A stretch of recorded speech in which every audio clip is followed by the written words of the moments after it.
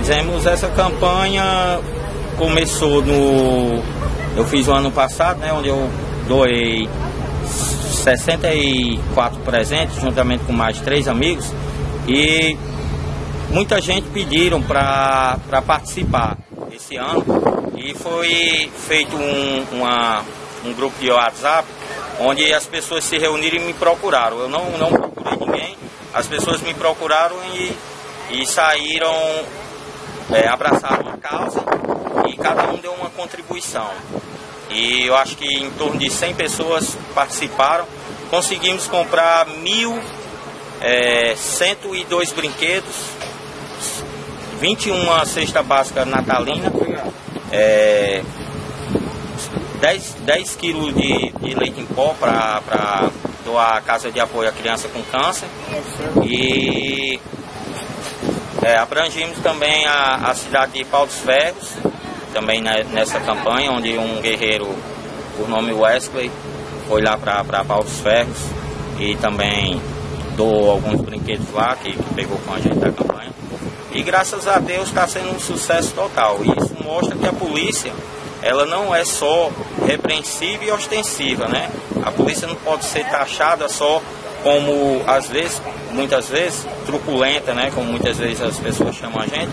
É, nós temos coração e fazemos questão, questão de, de ajudar as outras pessoas.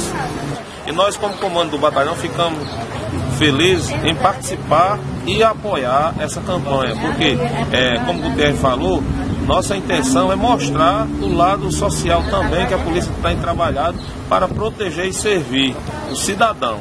É, nós é, é, encampamos essa campanha com todo o apoio à, à ideia e está dando certo.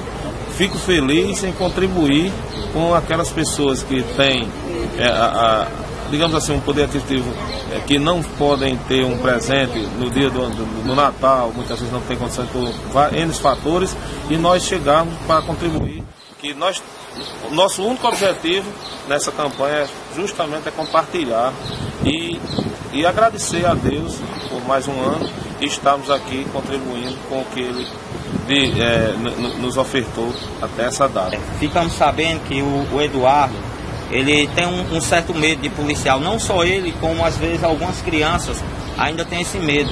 E a gente quer mostrar a você, Eduardo, que não, não tenha medo da gente, porque a gente quer ser seu herói, entendeu? A gente quer ser seu herói e estamos aqui para ajudar você, que você é cidadão de bem, entendeu? Como você é cidadão de bem, eu quero que você estude e futuramente você dê um grande futuro à sua família. Porque eu também quando eu tinha a sua idade, eu fiz desse mesmo, eu, eu recebia presentes assim, entendeu? Igual você recebe. Ainda tá com medo da polícia? Hein, Eduardo?